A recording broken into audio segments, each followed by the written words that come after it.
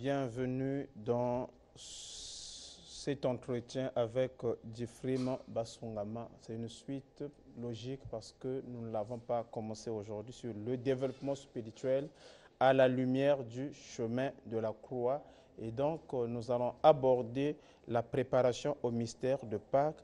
Mais préparation, avant de parler de la Pâques, il y a un temps qui la prépare, ce n'est autre que le carême. Donc nous allons parler de la signification spirituelle du carême, pour ne pas dire, mettons l'accent sur la signification spirituelle du carême. Bonjour, Monsieur Diffrim. Bonjour, euh, Thomas Serge Kivoulé. J'ai lu le document que vous nous avez donné. Et donc, en lisant ce document, je me suis posé mille et une questions, beaucoup d'interrogations. Vous, vous, évoquez euh, le mercredi de cendre, je ne comprends pas sa signification. Vous, parlez aussi de, de, la durée réelle de, de, du carême, je ne comprends pas non plus.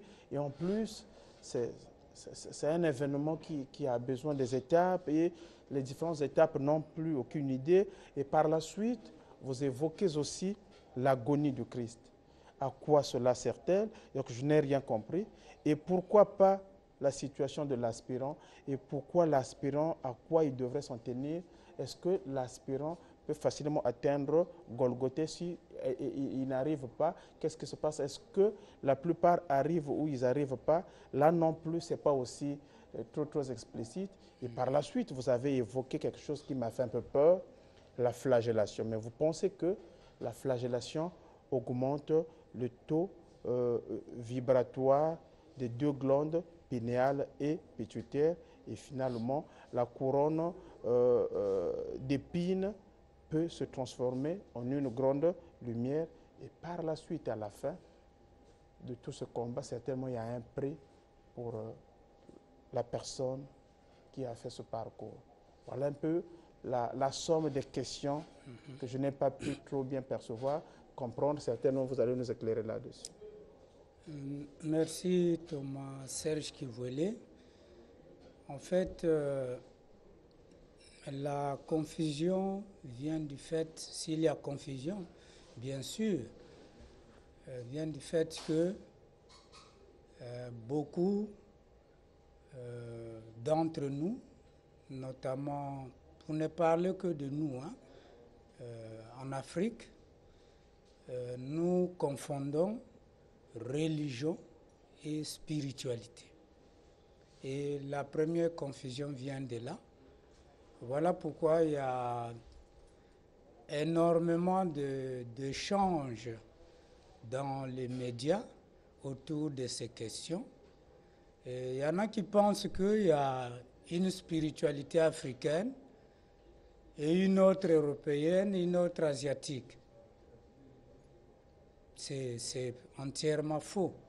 Voyez? La spiritualité, c'est l'étude des lois de l'univers, l'étude des lois de Dieu, pour bien se comporter, pour devenir un meilleur serviteur. Voyez?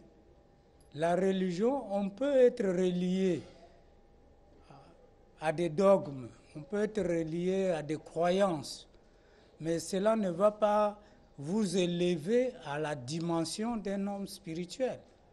Voyez? C'est pourquoi nous avons commencé ce travail du développement spirituel qui ne se fait pas à l'extérieur de l'individu. Encore une fois de plus, euh, Thomas Serge Kivuele, ce n'est pas le spectacle de Noël qui va faire que les gens changent. Les gens ne changeront pas. Mais lorsqu'ils commenceront à se remettre en cause en faisant le travail de pureté, en faisant le travail euh, d'aimer son prochain, en se mettant au service, que ce soit de la nation ou des individus. C'est à ce moment-là que les choses vont commencer à défiler au-dedans d'eux. Et aujourd'hui, nous sommes donc à l'étape du carême l'étape de Noël, nous l'avions passée d'abord avec la période de l'Avent. Et si l'Avent n'a pas réussi, on n'aura jamais l'étape de Noël, on n'aura même pas carême, c'est pas possible. Quand bien même on va fêter ça euh, extérieurement, mais ce n'est pas ça le travail qu'on demande aux gens. Voyez Donc ici, quand nous allons euh, rentrer, nous sommes rentrés dans le carême pour les églises chrétiennes depuis le 26 février 2020. Donc, ça va durer 40 jours. Voyez Mais Thomas Serge voulait, ça c'est à titre indicatif, vu le travail à entreprendre. Parce que la finalité de quoi Thomas Serge qui voulait dans le développement spirituel, mais c'est devenir autonome. Voyez Fonctionner de manière consciente dans le plan supérieur. C'est ça la finalité, devenir un aide invisible conscient. C'est vrai, il y a des aides invisibles qui ne savent pas qu'ils sont aides invisibles par le travail qu'ils font la journée et la nuit le Christ les utilise, qu'ils soient musulmans, qu'ils soient bouddhistes, qu'ils soient kimbanguistes. Ce n'est pas là le problème du Christ. Le problème du Christ, c'est le cœur. Est-ce que le cœur est aimant? Est-ce que la personne aspire à la pureté? Est-ce que la personne euh, aspire à l'amour du prochain Pour atteindre euh, euh, ces aspirations, mhm. certainement il y a des étapes pour mais justement, il y a deux étapes, ça ne se fait pas par hasard. C'est une science. Toutes les sciences ont des lois et il faut obéir à ces lois. La science spirituelle, dans les carèmes, il y a trois parties importantes. Il y a les Gethsemane, il y a les procès et il y a la crucifixion.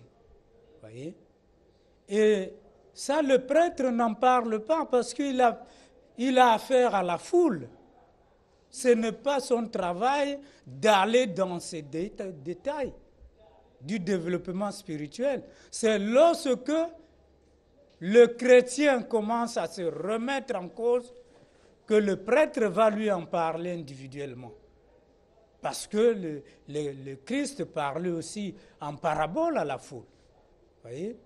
Donc, l'étape de Gethsemane, Thomas voulait, ça a permis au Christ de comprendre comment les forces négatives fonctionnent et tiennent le monde. Sans cette compréhension, il ne serait pas devenu le sauveur du monde. Je parle bien du sauveur du monde. Il y a de ceux-là qui ont été envoyés pour sauver certaines nations. Mais lui, c'est le sauveur du monde. Il n'y a pas de confusion là-dessus. Donc, il s'est rabaissé au niveau de vibration basse de la terre. Thomas Serge qui voulait. Je te donne un exemple pour bien me suivre. C'est rabaisser au niveau inférieur, toi qui es très élevé, mais ça demande un grand travail. Prenons le cas de nos frères de la diaspora. Ils ont vécu 20 ans, 30 ans, 10 ans en Europe. Et quand ils reviennent ici, mais c'est des gens transformés. Voyez? C'est vrai, ils portent le même nom, c'est la même peau, mais dans la pensée, ce n'est plus le même genre. Et vous constaterez que la saleté des villes africaines, mais ils ont de la peine à vivre dans cette saleté-là. Voyez? Ils ont une répugnance pour vivre dans cette réalité qu'ils ont laissée il y a dix ans de cela. Voyez? Et cela par respect pour leurs parents, pour leurs amis, ils sont obligés pendant un mois, peut-être deux semaines, de se rabaisser à ce niveau-là. Mais ils ne supportent plus ces toilettes traditionnelles. Vous voyez? Et ça, ça leur demande un effort de rabaissement pour essayer de faire comprendre ceux qui sont restés que avec ce degré-là, on ne peut pas avancer, même pas d'un pas. Et Thomas Serge qui voulait, vous me dites, mais ce sont nos traditions. Oui, mais pas jusqu'à ce niveau-là. Les traditions doivent évoluer. Vous devez répugner ce qui est négatif. Le manque d'hygiène, c'est négatif. Donc, on- on- on Donc, le Christ se rabaissait et il en a souffert. Parce que ces forces négatives se sont pénétrées en lui. Ça peut paraître un rêve pour vous, Thomas Kivuele. Mais le jour que vous allez souffrir dans votre chair, vous allez comprendre que ce n'est pas facile de se rabaisser au niveau le plus élevé quand on est déjà très avancé. Et la deuxième étape, c'est? Donc la deuxième étape, c'est le procès. Vous voyez? Quand on avance en spiritualité, on doit être mis à l'épreuve.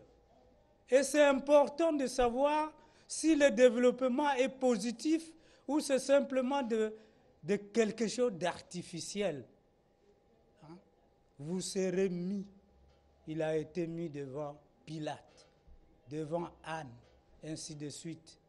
La foule a crié sur lui.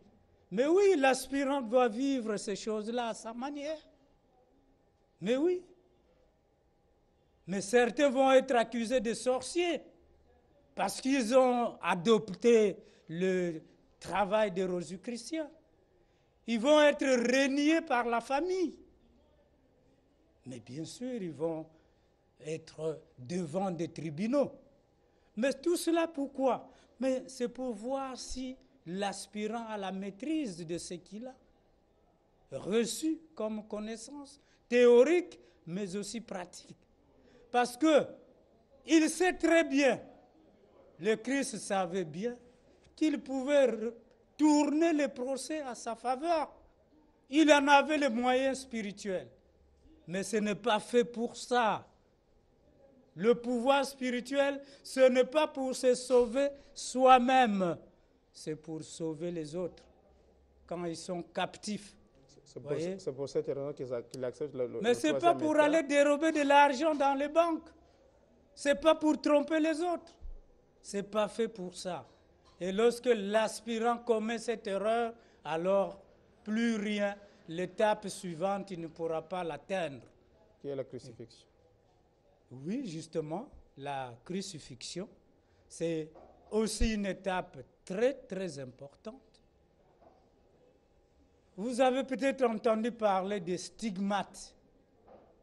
Ce sont des plaies qui apparaissent chez beaucoup de croyants, simplement parce que quand on retire le clou, je m'excuse hein, auprès de, euh, parents qui sont à l'église protestante, parce que chez eux, euh, la représentation symbolique du corps du Christ a été enlevée, sous prétexte que euh, le Christ est déjà libre. Mais ils ne se sont pas rendus compte qu'on s'adresse à l'être humain en développement. Voyez? Donc, ces pointes, ces clous qui nous rattachent encore sur le plan matériel, le matérialisme qui nous aveugle jusqu'à confisquer même le bien d'autrui, ça nous aveugle. Voyez? Et lorsqu'on a fait des efforts pour quitter cette forme de vie. Il nous reste encore cinq points par lesquels nous sommes attachés. Et symboliquement, c'est marqué par les paumes de la main et les pieds par lesquels euh, le clou, sinon les pointes sont passées. Mais il y a un cinquième point qui ne relevait, qui ne à l'aspirant que lorsqu'il a vraiment mérité de, de connaître ses secrets. Ce point, le cinquième, oui, il est dans la tête. On dit seulement dans la tête, mais on ne dit pas où. Voyez Il lui sera révélé à ce moment-là. Et lorsqu'on n'a pas été dans une école, parce que je disais l'autre jour qu'il y a aussi la voie mystique, hein, les gens qui croient vraiment et qui rentrent dans la vérité par leur foi, sans faire le travail que le chercheur fait, ils arrivent aussi à la vérité. Et généralement, ceux-là ont des stigmates visibles, hein, le sang qui se montre par le pied. Hein, il y a un Italien qu'on appelle Giorgio, je crois qu'il est arrivé à Brazzaville, qui, ces stigmates-là, lorsqu'il posait ou qu'il pose les mains sur un malade, le malade est guéri automatiquement. C'est des plaies sacrées, les cinq plaies sacrées. Donc, quand on vous a maintenant détaché de ces pointes, mais on ne peut plus vous cacher l'étape de Pâques, Thomas qui volait. Oui. Voyez? Et le Pâques pour vous devient la résurrection. Là, nous anticipons sur le thème prochain. Mais je sais qu'il y a des téléspectateurs qui ne seront pas là dimanche prochain. On peut toujours en parler. Et on peut se répéter pour une meilleure compréhension. Donc, le développement spirituel, Thomas qui voulait, doit nous amener à l'immortalité consciente. Euh, l'immortalité consciente, c'est le fait que Thomas qui voulait, tu ne meurs plus. La mort n'existe plus pour toi. Parce que c'est du domaine diabolique. Ce sont les esprits Lucifer qui sont venus euh, affaiblir le corps Quand, humain. quand vous dites je ne meurs plus, est-ce que c'est euh, physiquement comme ça Je peux plus connaître la mort? Mais ce n'est pas de la blague. Quand votre corps est fatigué, si vous pouvez atteindre 95 ans, et les lois disent que l'homme devrait atteindre 150 ans, et ceux qui meurent moins de 120 ans, c'est des morts prématurées. Voyez? Si vous arrivez à cet âge-là, 95 ans, vous vous fabriquez un nouveau corps. Mais là, dans la famille, tout le monde va fuir. Ils vont dire c'est un fantôme. Comment il a vieilli et puis redevient jeune comme ça? Justement, c'est une question importante que tu poses. À cause de cette ignorance, les initiés qui sont arrivés à ce niveau de développement, ils existent. hein. Ce n'est pas un rêve. hein.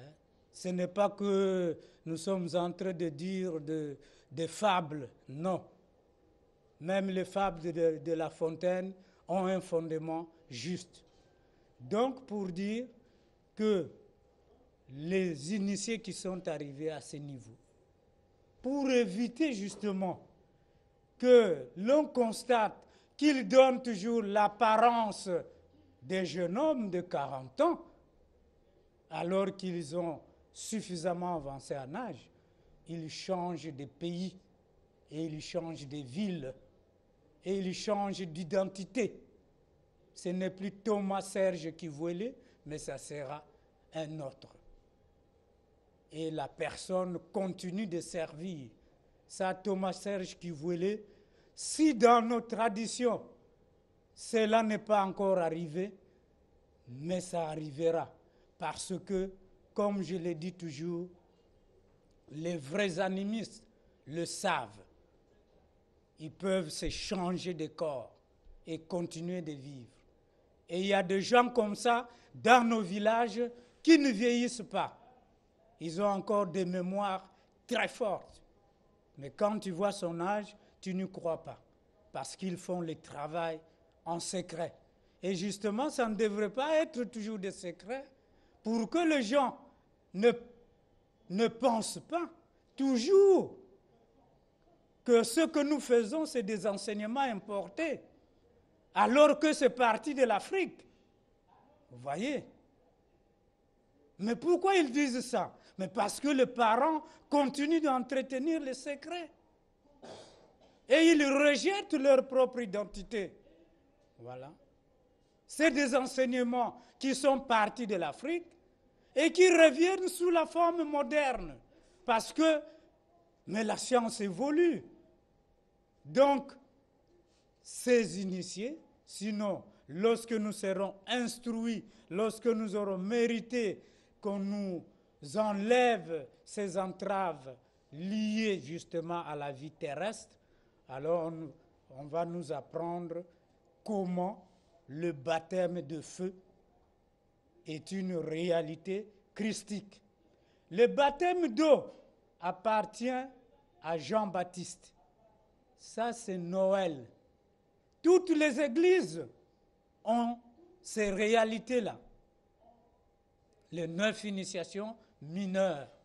Mais ça ne libère pas le chrétien des entraves de la matière, de la mort, de la pauvreté, voyez, de toutes ces choses qui nous freinent, les injustices, voyez, les séparatismes.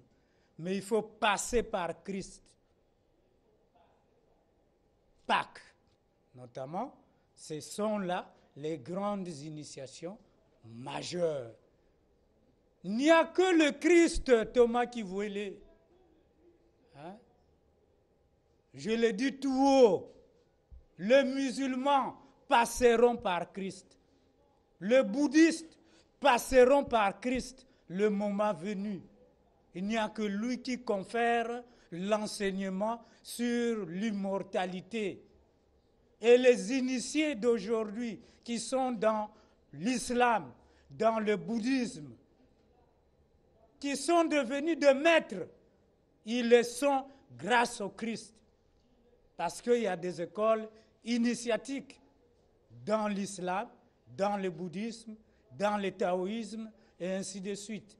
Voyez? Donc, notre tradition aussi, l'animisme, au niveau le plus élevé, c'est une grande école initiatique avec le même principe, mais ce sont les méthodes qui changent. Les méthodes qui changent, mais il y a quand même une question qui, qui- qui me revient à l'esprit pendant que vous parlez. Pourquoi les, les aspirants n'arrivent toujours pas? Pourquoi on n'arrive toujours pas à expérimenter l'œuvre de Golgotha dans nos vies quotidiennes, même quand on a opté pour cette vie-là? Et encore Thomas Serge qui voulait, le Golgotha, c'est aussi une notion floue chez beaucoup de chrétiens. Le Golgotha, c'est la place du crâne. C'est cette place-là. C'est par là que l'esprit sort pour devenir libre à jamais. Et oui. Pourquoi certains n'arrivent pas jusqu'au Golgotha? Mais c'est pour dire que on est encore freiné par certains fastes, par euh, le monde matériel. Tout à l'heure, j'ai suivi les mamans qui ont parlé de la veuve qui est maltraitée par la mauvaise tradition.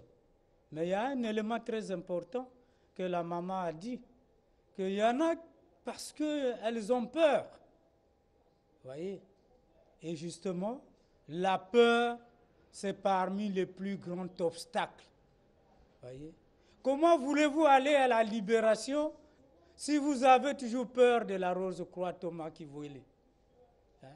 Tous les jours, nous en parlons, mais vous entretenez la peur. Mais qui va vous initier dans cet état d'esprit? Hein? Je vous l'avais dit une fois que lorsque l'instructeur apparaît devant l'étudiant qui le mérite, si, malgré la preuve qu'il est l'instructeur qui l'attendait. Lui montre la réticence, montre la peur. Alors l'instructeur se retire. Et je disais que dans cette vie, pour cette personne, il n'y aura plus d'initiation spirituelle. J'entends parler. Ah, Moi, je ne fais pas la confusion avec les autres initiations. Je parle de l'initiation spirituelle qui libère l'homme des entraves de la matière et il devient citoyen universel.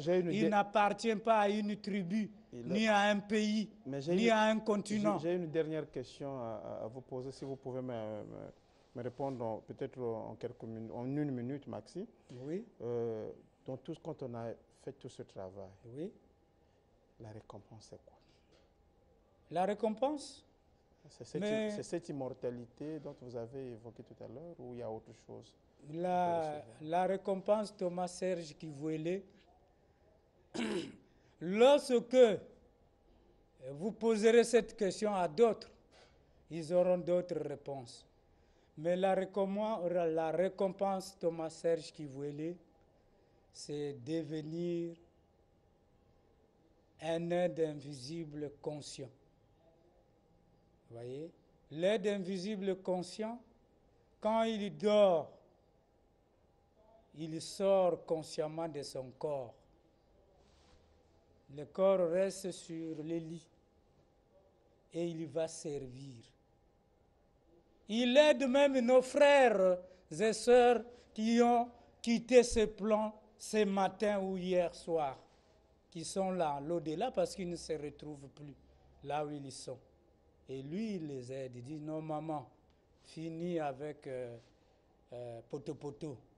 Tu vendais au marché euh, total, mais c'est fini. Maintenant, rentre dans le royaume de ton Père. Et ça donne cette valeur-là de faire le travail consciemment, ici-bas, pendant que vous êtes vivant, Thomas qui voulait, et dans le plan supérieur. Et c'est ça le grand mérite qu'un humain peut avoir pendant qu'il est encore sur Terre. Et c'est un grand travail.